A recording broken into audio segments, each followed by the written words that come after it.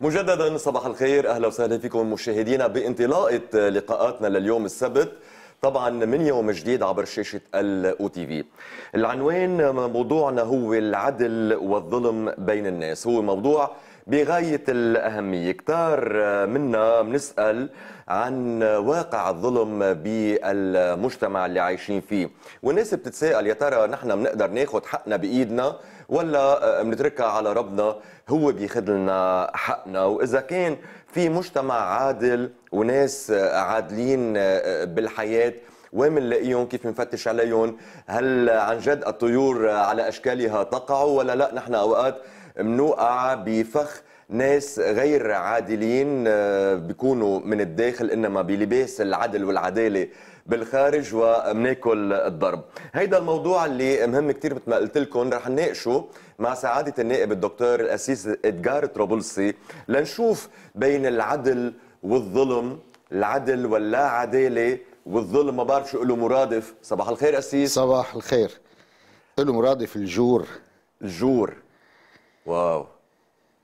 أسيس يعني آه بعد آه إذا بدك كل شيء عم آه يتقدم بالحياة من بعد حتى بسلسلة اللقاءات مع حضرتك بنحكي برقي عن التقدم العلمي والثقافي والحقوقي. بعد نحن بحاجة اليوم نحكي عن العدالة ومفهوم العدالة وميزان العدالة وكيف تطبق العدالة بعيدا عن قصور العدل العدالة نحن بطاعتنا بين بعضنا بين أفراد المجتمع المرؤوس ورئيسه العيلة الأم والبي مع أولادهم المدرسة الجامعة المؤسسة المستشفى يعني كل قطاعات العمل بالمجتمع. صباح الخير لك وللأعزاء المشاهدين. نحكي بشوية حزن خاصة لما بنشوف جرائم متمادية في هالمنطقة من العالم اللي اجى لها رئيس السلام. وامبارح بالأمس بالنبطية كان صحيح. جريمة مدوية راح فيها ضحايا طيبين مسالمين طلاب وناس ببيوتهم. فأول شيء بنعزيهم وبنعزي كل المتألمين ببلدنا وبنقول ما قلنا إلا إله العدل. هلأ سألتني وعم بتقول لفت لي نظري عن العدالة بعيدا عن قصور العدل. ما نحن ما بنروح على قصور العدل إلا بسبب الظلم الحاصل بين الناس. فيا بدك تحصل حقك بإيدك تروح تصمت قتل للمعتدي عليك وترتكب جريمة أو بدك تلتجي لقصر العدل. نعم. فما عندك خيار. فهون أنا بعتقد هيدا اعتقاد شخصي. من بعد واحد ما يطلع على كل الفضائل والقواعد الإنسانية اللي لازم تكون في المجتمع. ويقارنهم بالدين ومتطلبات الدين والفرائض الدينية وكذا. أنا أعتقد أنه العدل العدل هو الأهم. أن نعلم الناس العدل هو الأهم.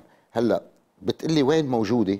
موجودة بكذا محل بالشرائع الإلهية السماوية. وكمان موجودة بشخص الله يلي هو العدل العادل.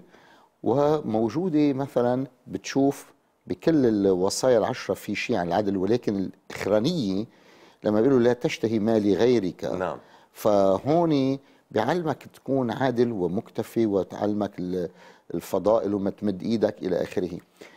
أعتقد إنه عندنا نقص بتربية الأولاد والأجيال مع كل التقدم العلمي ما في عندهم كثير مواد بيدرسوها بتعلمهم يكونوا حقوية. نعم. خلينا نقول الكلمة بالدارج حقوية.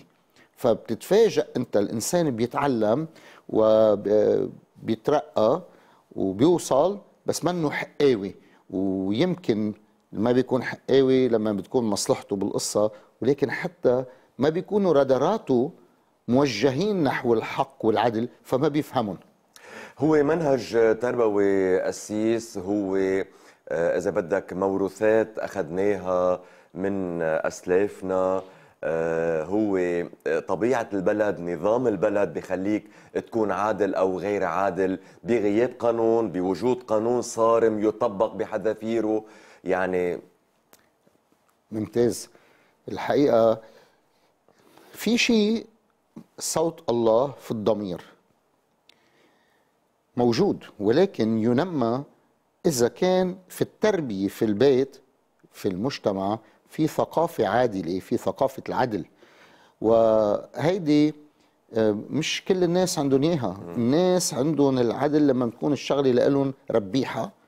ولو هي تنتهك حقوقك وبتخسرك هيدا بيكون عدل. هيدا بيكون عدل.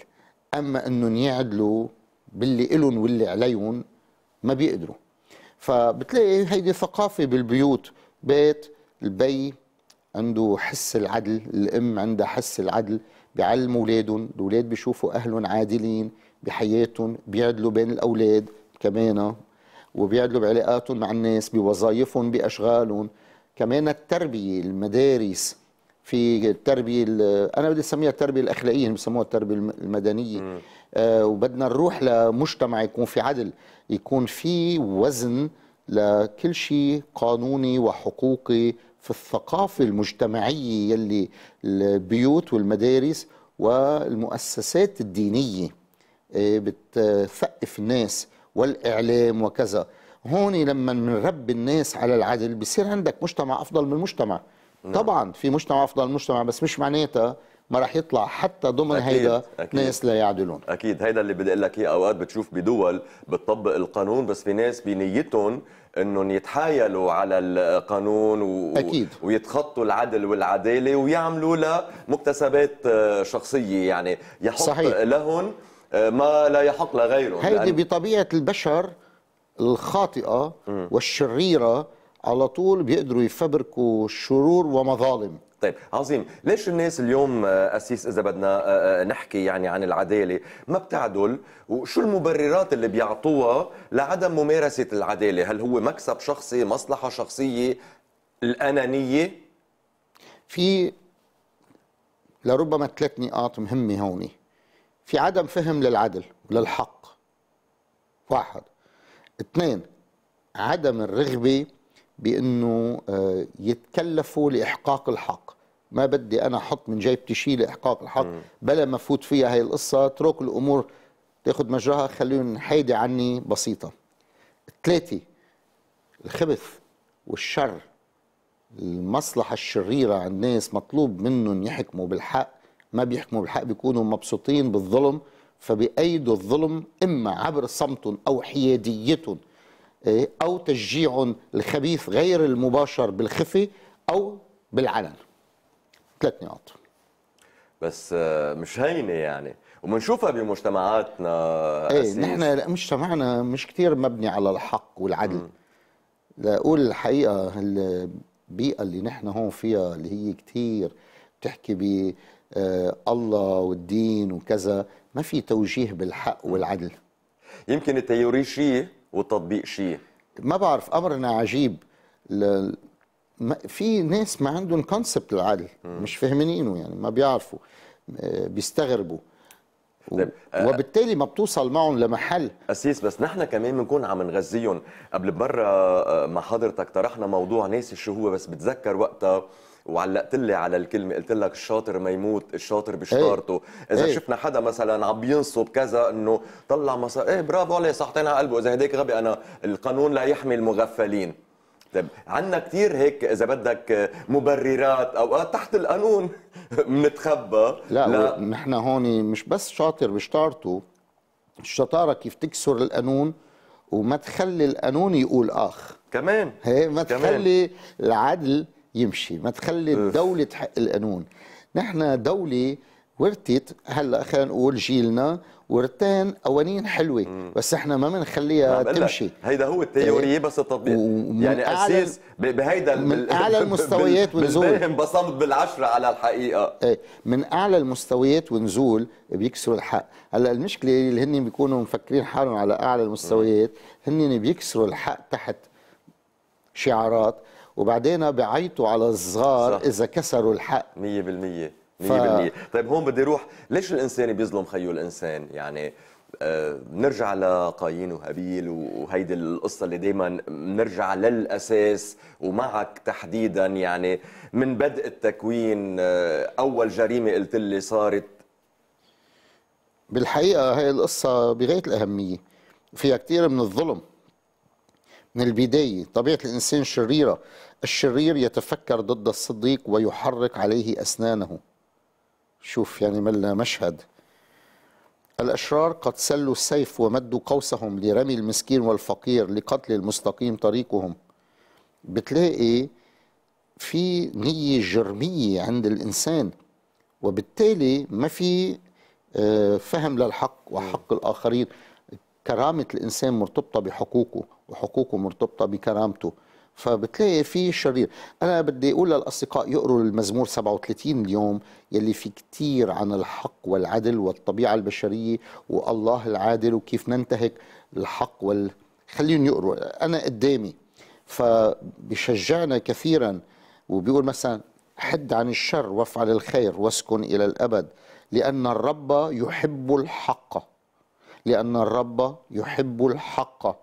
ولا يتخلى عن أتقيائه إلى الأبد يحفظون. أما نسل الأشرار فينقطع. فما تمجد بالشرير والحربقته ذكي الله يحب الحق. فنحن علينا أن نحب الحق. هلا المسألة المسألة أنه الله يحب الحق. نحن نحب الله لكن لا نحب الحق. من هيك انتبهت أوقات شوف ملا معادله نحن نحب الله دينيا طقسيا مشاعريا مذهبيا غرائزيا. لا نحب الحق واقعيا. بنروح أبعد من هيك. أوقات آه، بمواقف معينة ما بنوقف مع المظلوم. بنروح مع الظالم. هيدي هي. بركي لأنه صاحب سلطة صاحب صيرة لا سيطرة. أو نحن عندنا مصلحة. أو نحن عنا نحن مصلحة. عندنا مصلحة. هون بتشوف بقلب هال أنا كنت قاعد مع شخص شخصية ظاهر آه، كبيرة جدا بهالبلد. في ناس شخصيات كبيرة يبقى عندهم مناصب بس يبقوا مخفيين. أحد الاباء أباتي قاعد أنا وياه وجدت حالي قدام شخصية كبيرة جدا بكل المعاني. عم بحكي أنا وياه وأتينا وهو عالم في الكتاب المقدس.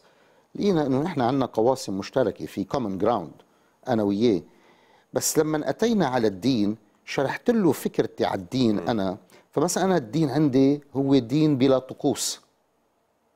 هو دين بلا طقوس دينية. هو دين يتمحور حول شخصية الله بيرما بارلان هيك الله وحده. إيه؟ الله بالذات. والعلاقة يلي بتربط الإنسان هون وهون بألله. فشرحت له قلت له بدك ما يعني تتقبلني مثل ما أنا وأنا بتقبلك مثل ما أنت. أنا الدين تبعي منه دين طقسي. بوان فينال على السطر نزلنا. يعني بمسك بالطقوس لأني أنا أحب الكلمة وأحب الموسيقى وأحب الترنيم وأحب الصلوات. بس الدين تبعي هو اولا دين الحق دين العدل. دين الإنسان. الدين يلي بيخلي الإنسان يرتقي بدون الشكليات. فهيدا كان حوار وانبسطت إنه هو فهمنا. كيف كان تجاوب؟ رائع. ردة فعله. رائع. أوكي. هلأ طبعا كل واحد ضمن الهيئة اللي هو فيها ملتزم ب آه، مرجعيته خلينا لا لا نقول. ملتزم. هي القصة فيها تراث وفيها آه، طقوس وفيها كتير أمور فبنتقبل بعضنا مش مشكل. بس أنا عندي مشكل. لما بشوف إنه نحن منروح منطبق ما بنقدر نزيح القدي بطقوس و السنة الطقسية والديانة بممارستها الفرائضية. وبنقبل كل شغلة هالقد لا تواخذني من إساءة للإنسان وحقوق الإنسان وضرر الإنسان بنقبلهم وبنقبل إنه الناس يشمطوا يسرقوا يعتدوا على غيرهم ونحميهم. فهاي ما عم بقدر أفهمها. الرب يحب الحق. نحن نحب الله. هل نحب الحق؟ هون السؤال. إيه هيدا المثلث هيك. الله يحب الحق. أنا أحب الله. هل أنا أحب الحق؟ إذا كان واحد يحب الحق هيدي بتكون ديانته طاهرة. هيدا بالمختصر المفيد ال- الأطروحة اللي كنا عم نتناقش فيها الفكرية. آه كمان حتى لو آه انوجد إنسان يحب الحق هو عرضة لضغوطات.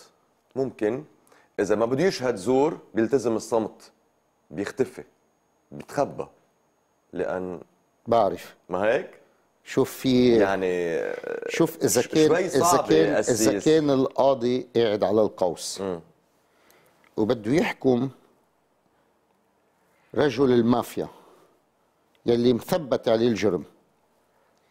وفجأة اجى سكرتير القاضي وشوشوا بدينته وأعطاه ورقة بين إيديه وقال له المافيا خطفت لك ابنك هلأ. تترك الزلمة وبتبريه أو ابنك بيندبح. شو بتعمل؟ أنا سألتها مرة لقاضي قال لي الله لا يجربنا.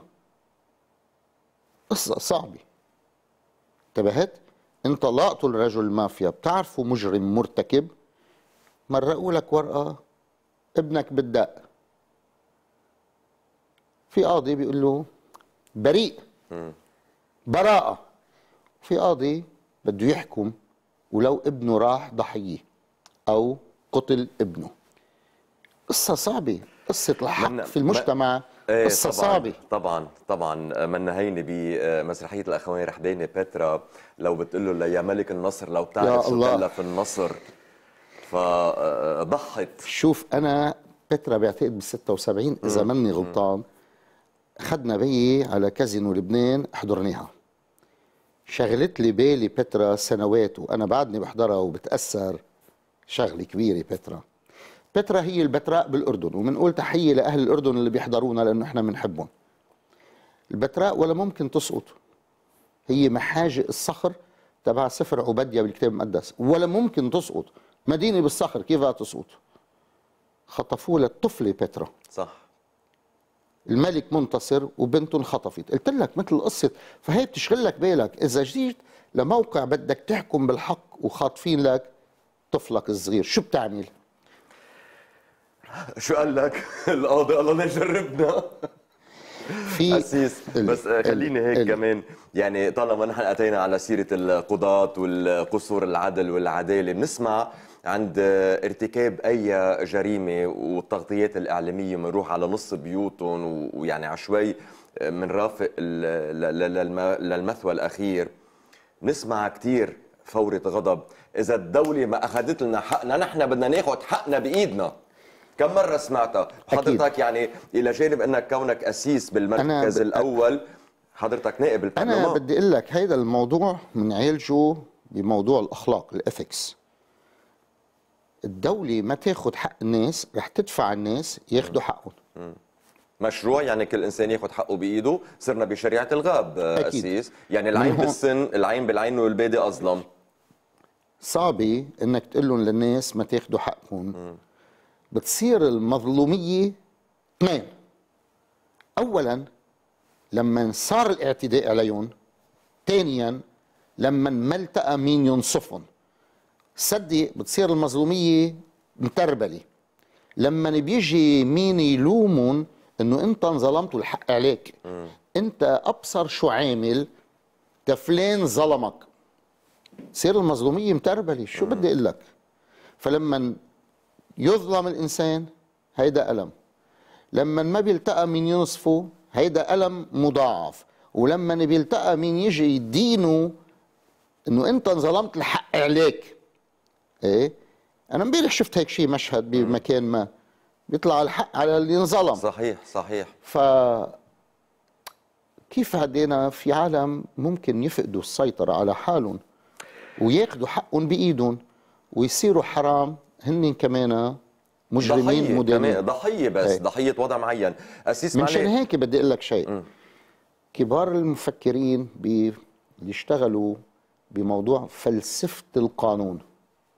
فلسفة القانون. وصلوا للخلاصة إنه القانون يحمي الناس. والخلاصة بسيطة هي. والحكم يحمي الناس. وهون بيروحوا لفكرين. وأنا بقول لهم لاهوتين لاهوت القضاء ولاهوت الحكم. وهول لاهوت القضاء لاهوت الحق ولاهوت الحكم.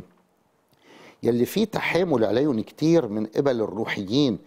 الناس الروحيين بفكروا إنه بتتعالج كل مشاكل الناس بحبة الأسبرو. نعم. شو يعني حبة الأسبرو؟ الأسبرين هي أبسط حبة دواء. إنه صلي خيي والله هو اللي بيحل كل الأمور. هيدي حبة الأسبرو بمجتمع المتدينين. صلي والله بيحل كل الأمور. أغفلوا عن صنع الحق. وفرض الحق. انتبهت؟ ما فهموا شو معنات حق وعدالة. الأشنع إذا واحد ركب على القوس صار يعني قاضي قاضي بالمعنى القاضي ولا بمعنى المسؤولية وما فهمين إنه لازم يصنع الحق صنعا. آه، أسيس بتعرف أخذتني على مطرح. هلأ يمكن ابعد شوي عن آه، صلب وجوهر الموضوع بس كمان بدي أطرح السؤال لأن نحن عم نعيش هيدا الزمن نحن بلبنان ما في بيت منه محزب يمكن هن أقلية. حتى اللي قالوا وقت الانتخابات إنه نحن آه، يعني تغييريين ونحن مش منتميين ونحن دم جديد وما بدنا فلان وفلان. نحن يمكن بنرجع لمرجعياتنا الحزبية والدينية والكنسية اللي بدك إياها تيكون في عنا غطا تيكون في عنا مين ياخذ لنا حقنا. يعني اليوم أنا بصوت لك أول مشكلة بفكر بدكتور طرابلس. دكتور أنا أعطيتك صوتي. تفضل أنقذني. عملت اكسيدان ما بعرف شو. اتدينت ما قدرت وفيت ديون. أنت مجبور فيي. وإلا وشفناها بالانتخابات طلبنا منهم خدمة ما خدمونا. رحنا على غير مطرح نكايه بهودي في فرق بين إنك تكون ملتزم بحزب بفكر بنهج بعقيدة وفرق بين إنه كمان أوقات نحن مصالحنا. هيدا لأنه أخفقوا عن بناء دولة أو كان في دولة ساهموا بهدمها تتصفي المرجعيات هي المتمسكة بحياة الناس والناس يرجعوا لها. والمرجعيات تتعب بس بتكون مبسوطة أكثر من أنه يكون في دولة. وأنا لا أعمم لأنه في ناس طبعا طبعا. بيريدوا يكون في دولة وحكم القانون وحكم الدستور. وهيدا يلي الأحزاب ومش بالضرورة الأحزاب والبيوتات السياسية يعني هول البكوات اللي عندهم ألقاب وأحيانا كمان المرجعيات الدينية. أوكي؟ ما بيناسبهم يكون في قضاء مستقل قوي حكم القانون. فبتلاقي مش عادي إنه هيك مجتمع. نعم. مجتمع قبائلي. وبس مش لازم من بعد كل اللي صار نكون هون. لازم نحن نروح نخلق ثقافة قانونية ونخلق قضاء قوي مش بس مستقل قوي عادل مستقل أكبر مثال المشكل اللي صار على قانون الأحوال الشخصية. هي وحده منهم في في مشاكل عديدة. المدني وكل إيه طبعا في طيب. في كثير قصص أسيس قبل ما يخلص وقتنا آخر سؤال بدي ألتزم فيه حرفيا لأن كثير حبيت. ماذا لو لم يرى الإنسان العدالة بعينيه على الأرض؟ ماذا يفعل؟ هل عندما يلجأ إلى العنف يكون الخيار السليم وإذا لجأنا للعنف طيب حساب السماء وين؟ قبل ما جاوبك عليه بدي أقول لك الآية يلي الناس لربما بيعرفوها وسمعوها بيوم أيام بتاريخنا المعاصر. مبرئ المذنب ومذنب البريء. مبرئ المذنب ومذنب البريء. كلاهما مكرهة الرب. بس خليني أقولها لأنه لازم تنقال أوكي؟ ونحن بنمارسها ببلادنا. الثاني إن رأيت ظلم الفقير ونزع الحق والعدل في البلاد فلا ترتع من الأمر لأن فوق العالي عاليا يلاحظ والأعلى فوقهما.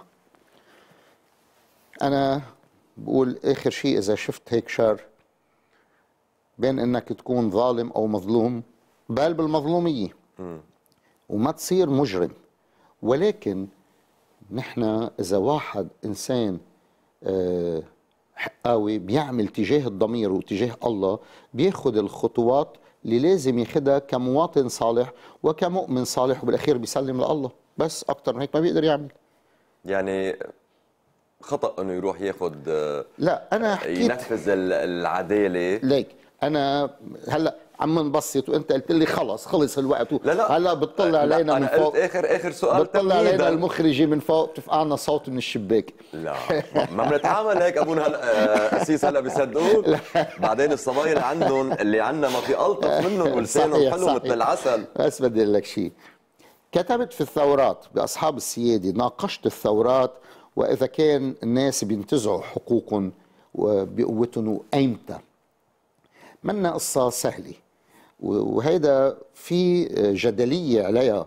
مثلا اليوم الولايات المتحدة الأمريكية بعد فيها فريقين فكريين مضمرين الناس ما بيعرفوا عنهم. في ناس بعدهم بيقولوا إنه الثورة الأمريكية للتحرر من التاج البريطاني كانت خطأ. هيدي قليل اللي بيعرفوها. انتبهت؟ وفي ناس بيقولوا لا كان لازم تصير. وربحت الثورة وصار في ولايات متحدة غير بريطانيا. في ناس لليوم بيقولوا الثورة الفرنسية كانت خطأ شنيع بآثارها المدمرة للدين والكنيسة وكانت ثورة علمانية شيء يا رب تنجينا. ما, ما تفكر إنه هالقد قصتها والثورة الشيوعية. بس واحد بيحكي عن الثورات. أنا وصلت للخلاصة. علما إنه في ثورات بتعجبني. تقول لك الحقيقة وبفهم منطقها. القصة إنه بتفهم منطقها. أنا مني مع الثورات. أنا إنسان وصلت للقناعة وساعدني البحث في اللاهوت. وفي ناس كبار بتلاقيهم بالتاريخ. واحد منهم اسمه توما الأكويني. إيه ليش أنا ضد الثورات؟ لأنه أحيانا الثورة بتعمل شيء أشنع من اللي أنت ثرت عليه. وبتعلم الناس عدم الانتظام وبتاخدك لتشفى منها وتطلع منها عقود لترجع تعمل انتظام عام. يمكن هيدا اللي عم نعيشه هلا. إيه طبعا. بعد ما يسمى ب لا من بعد ما عملنا ثورة ال 75 قبل هيدي الثورة لا يا خيي ما نحن بال 75 عملوا ثورة. إيه وفي منهم عملوها طبقيه وفي منهم عملوها ضد الغريب وفي منهم عملوها ضد النظام الإقطاعي. وشو قصة كبيرة ال 75 وبعدنا لليوم ما عرفنا نطلع. طيب أسيس اليوم اللي عم يحضرنا.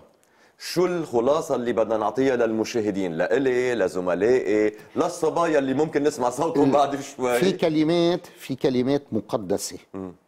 في كلمات مقدسة. نحن اللكسيك المقدس تبعنا هو بس أمين وهللويا. لا تؤاخذني أنا بحبهم كثير بدك يعني تحركش. امبارح امبارح أنا كنا بجو رائع حفلة تسبيح لأول ما إلى آخر. طبعا الأمين والهللويا حلوين بس أنا بدي أعلمهم كلمتين وايا كتير بدون الأمين والهللويا ما لهم قيمه الحق العدل. الحق العدل. لازم نرجلج مخنا ونرجع ننمي فينا حب الحق ثقافة العدل فعل العدل فعل العدل. نعدل بحق بعضنا البعض بحق مستخدمينا أو رؤسائنا بالعمل أو زملائنا أو البيت أو الأولاد يكون في عدل. إذا كان في عدل بيكون في أجور صحيحة. إذا في عدل بيكون في أقساط مدرسية صحيحة. إذا في عدل بيكون في آه، مجتمع آه، سليم أقل درجة من المشاكل فيه. هيدي بغاية الأهمية. طيب فكرة كثير صغيرة. فكرة كثير صغيرة لأن طلع الصوت. والدخان الأبيض طلع. أوكي؟ طالما كنت عم تحكي عن الاجور ماجور طيب اليوم كيف فيك هيك تعطيني هيك بس نموذج صغير عن المالك والمستأجر؟ المالك حقه يطلع المستأجر لأن قعد سنين بيقبض مئة ألف بالسنة وشفنا المئة ألف صار تعمل دولار آه واحد. بنفس الوقت المستأجر كمان ما فيك تزته على الطريق. هيدا معه حق وهيدا معه حق. هيدا يمكن عم بيكون قلبه قاسي آه، بتطلب منه الرحمة ولو شفاء عليهم. طيب ما هالسنين كلها المستأجر لما كان قاعد بنعيم ورخاء وعم يستهلك البيت ما شفق على على المالك. إيه. طيب. أنت سألتني بس هاي. إيه. طيب وهول الأساتذة المتقاعدين. إيه ولك إيه, إيه وهول اللي مبينين لهم القانون اثنيناتهم. انتبهت؟ ما 100% وبأي السلطه وبأي شعارات نردوا هول القوانين. هلأ الثلاثه عندنا لجان مشتركه تنبحث بهذا الموضوع. لازم يكون في عدل بحق الناس. بنقول هللويا؟ ما فيني أقول لك قلنا هللويا مرة الماضي. طب شو ولا الهللويا راحت للأسف انتبهت شو؟ أسيس شكرا كثير لك بنحب آه كثير اللقاء معك ممتع ودائما بياخذنا لمطارح هيك. نتخطى حدود الكلمة تتصير هيدي الكلمة. آه، فعل عم نعيشه يوميا بحياتنا. ويمكن نحن فينا من كل شيء. هلأ أنا وياك لما كنا عم نحكي من كل اللي ذكرته فيهم مني من كل شيء يعني بس إنه الإنسان بجرب دائما يغلب الخير على اللا خير حتى بنستعمل الشر وبرضه كلمة منجرب معناتها إنه نحن بعدنا منا كثير يعني آه، انقياء بدي للاخر زيد كلمة بعد لا تؤاخذني. يلا، الحق تفضل. العدل الاستقامي أوكي. ثلاث مفردات. عدل. استقامي هول لازم نعلمهم لحالنا ولأولادنا وللمجتمع. ميرسي شكرا لك. بريك ومنتابع معكم مشاهدينا